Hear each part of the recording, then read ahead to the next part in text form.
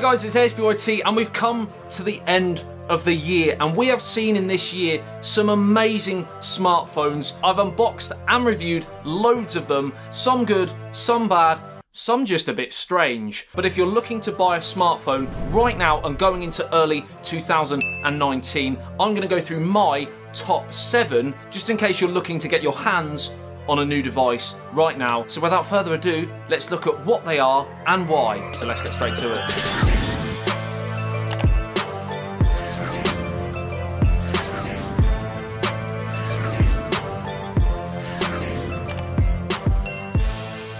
Now, because I have reviewed all of these in great detail, I'm not going to be spending too long on each. I'm going to be trying to do this as quick as possible so that you guys can just get a rough overview. If you want more detail, the videos are on the channel already. Now, I will leave links to all of these products in the video description below, so if you are interested in going through and getting more information or indeed purchasing them after watching this video, you can go and do that. Firstly, because it is the holiday season, I am going to be giving away a Lenovo Z5 Pro smartphone. I will be running the giveaway over on my Instagram account, ASB underscore YT. All the information will be left over there. So good luck and happy holidays if you are celebrating. So starting with the first smartphone, we have here in my opinion, the best sub $200 phone. And that is, of course, the Xiaomi Mi A2. Now, the reason why I love this phone is because it's stock Android. It's part of the Android One program. It's got a pretty great camera, again, for the price. This variant's got 4 gigabytes of RAM, 64 gigabytes of storage, 5.99 inch Full HD display, Snapdragon 660 SoC, so while it's not the 800 series, it certainly is still a very, very good mid-range piece of kit. This phone also has the most clicky buttons, in my opinion, on the market. The best buttons of 2018 on a smartphone goes to the Xiaomi Mi A2, period, hands down, and that's a fact.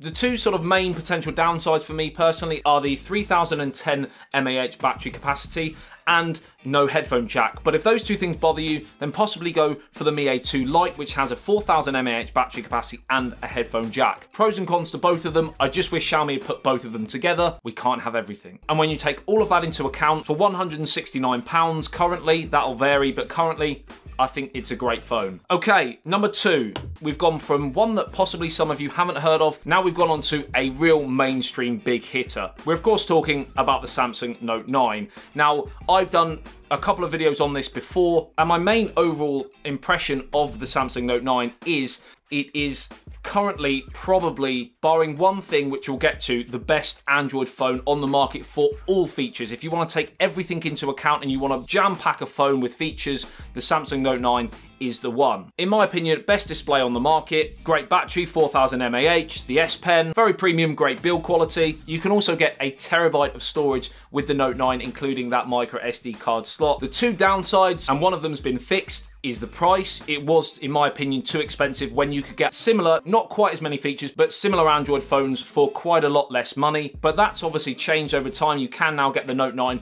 on some pretty decent deals and reduced price for buying outright as well. But the main problem for me with the Note 9, and the only reason why I can't really use the Note 9 as my daily driver currently is the camera. In my opinion, although the camera is good, it's not great. The front camera is pretty poor in my opinion compared to other flagships on the market. The rear camera takes some great shots, but if you're using the bokeh effect, depth effect, whatever you want to call it, or live focus, I think it's called on the Note 9, many different names across the phones. If you're using live focus on the Note 9, it's quite clunky. It takes quite a while to actually take that specific photo. And if things are moving, if you've got a moving target, then I've often found I've got blurred pictures. So a good camera, not a great camera, and therefore I can't use it as my daily driver. I will potentially look to port the Google camera onto here and then I may use it, but I often find those ported APKs of the Google camera app, they can be a little bit glitchy. If one works fluidly, then I'll try it. Now we're on to, in many people's opinions, the best all-round phone when you take into account money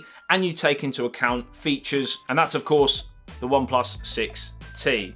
Now, this is the next iteration of the OnePlus 6. I could put the OnePlus 6 in here as well. They are very similar. You have the advantage of this, of the in-display fingerprint sensor if you want that, and the smaller notch, but you have the headphone jack on the OnePlus 6, so it depends on what's important to you.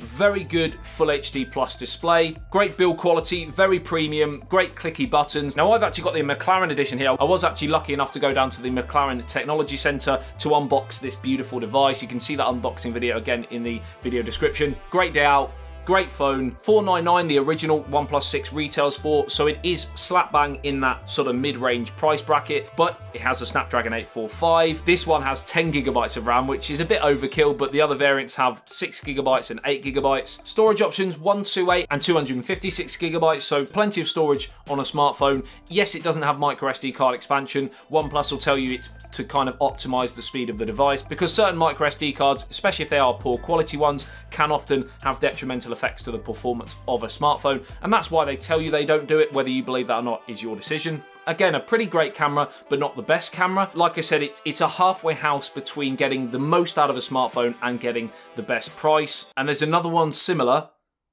which we'll get to. Right, so briefly with the OnePlus 6T, we talked about good value for money.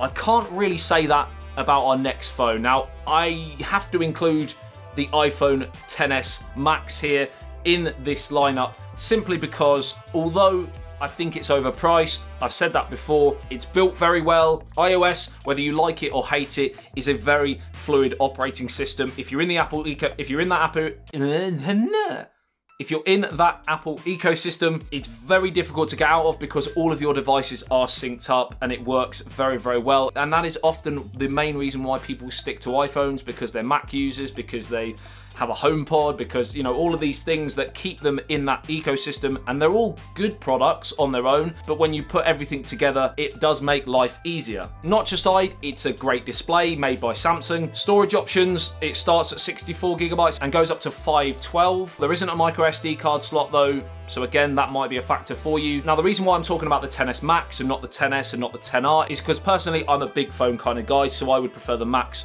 over the original. And yes, the 10R is probably better value for money. If you've got the money to spend big on a, a phone, I would personally go with the best. And currently the XS is, although only minor, it is better than the 10R. Now the A12 chip inside the new iPhones, 10s, 10s Max and XR is, is the fastest currently on the market. Obviously next year when we start seeing the Snapdragon 855 and also the Kirin 980 which has dropped already this year coming close, but I still think in terms of raw performance, it's probably the best. Also in terms of glitches and crashes and, and just working as a smartphone, I say this a lot, because the hardware and software is made by one company, it just gives Apple the edge in that department. It's got a great camera. Some people will say it's the best camera on the market. I don't quite agree with that, but I certainly think it's one of the top sort of three. My weight, my one, my Wayne, my Wayne problem, my one main problem is I think they've got the saturation completely wrong. It's far too warm. Every single time I would take a shot of somebody's face or my face, the reds and the oranges just come out too much in my opinion. And the camera app, which is another problem. If you could edit the setup of the camera and bring those temperatures down, I would probably use this uh, as a lot of my shots for social media. But currently in this state,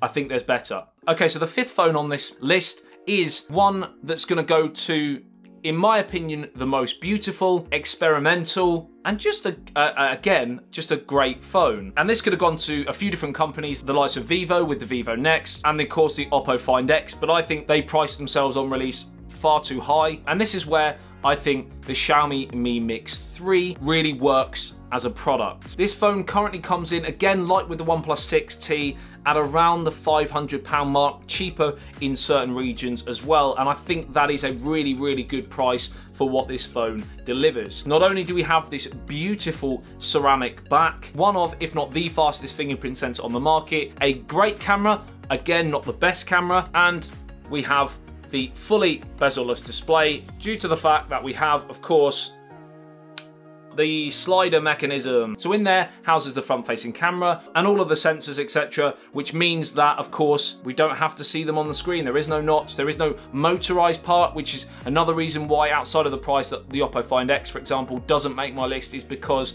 I honestly feel that the slider mechanism will probably be more durable than a motorized moving part. It's a lot more solid as well than the Oppo Find X, which has been known to bend break quite easily. Now the potential downside is battery, it's 3200 mAh, which while I feel like I said in my review, it outperforms that tag due to its optimization. It's still not quite as good as the Samsung Note 9, the OnePlus 6T as an example. Another possible downside is it, it's quite a heavy phone due to that ceramic, so if you want a light phone, then don't get this. Possible beautify problems in terms of it smoothing out the face, for example, on selfies. You can tone it down a bit, but it's still a bit present in the software. Not something that would stop me buying it, but just again, something to note. And all in all, again, another brilliant smartphone that's been made this year. So we have two left, actually eight, because there's a bonus one as well. Next up, we have, in my opinion, and this will vary, and DxO Mark won't tell you this, I still think currently what Google have done with the software makes this one of probably the top two smartphone cameras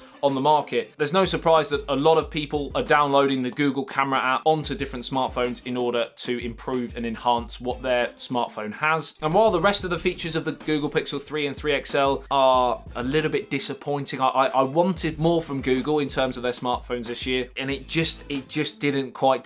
If camera is paramount, if stock Android is paramount, then get the Google Pixel 3 or 3 XL. If battery's important, don't get the Pixel 3 XL. Design I'm split, to be honest, because the back I really like, the front, as you well know, and I've actually quite a nice wallpaper to hide it. Let's see if we can find it. There it is. There it is. I know it's been overplayed, but I, I honestly don't know what the design team were thinking on that front panel. The chin's not exactly small either, so I like the way it feels in the hand. It's nice and light. The back, like I said, looks great. The camera's great. The stock Android 9 is great, but there's a lot of other things that I would personally improve. But nevertheless, for those two main reasons that I've mentioned, it has to be on my top list because, again, in my opinion, I've probably said that about 16 times. In my opinion, it's one of the top two cameras. So our last smartphone is coming, followed by our honourable mention, and it is, of course, the Xiaomi Pocophone F1, ladies and gentlemen. It had to be, didn't it? And the reason why the Pocophone F1 is on the list and is overall out of all of these, in my opinion, I've said it again, in my opinion, the pa the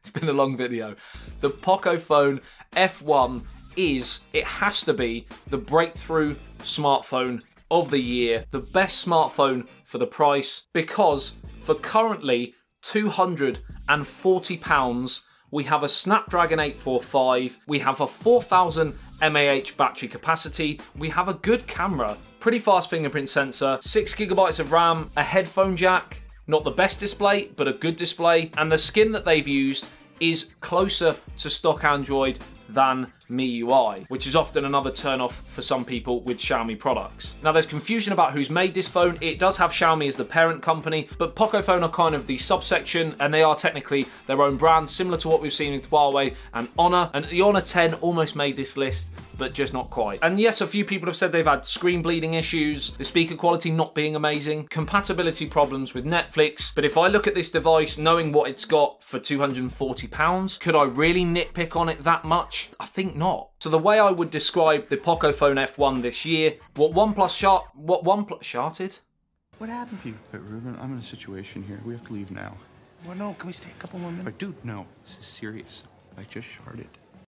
Well, OnePlus started with the flagship killer, great phone at a knockdown price. Pocophone have managed to do that on heap. This year, they have changed the landscape of smartphones. If you can get a Snapdragon 845 SoC in a smartphone, regardless of anything else, and it's got other things, for £240, that's madness. Insane.